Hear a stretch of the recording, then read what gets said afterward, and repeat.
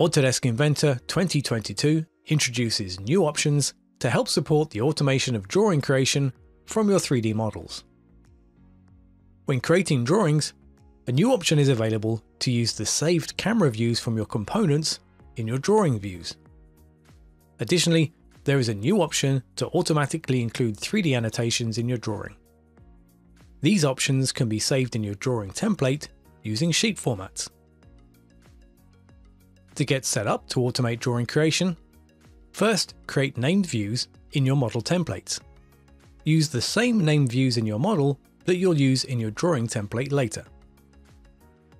In your drawing template, create your standard drawing views, remembering to add the new options for camera view and annotations, and give them the same names that you gave to your model views.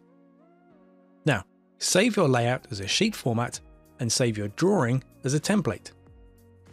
When you complete the modeling process, create a new drawing from the template file you created earlier using your custom sheet format.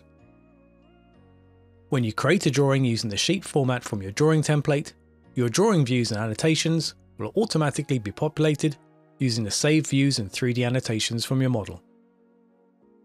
Save time on drawing creation with drawing automation in Autodesk Inventor 2022.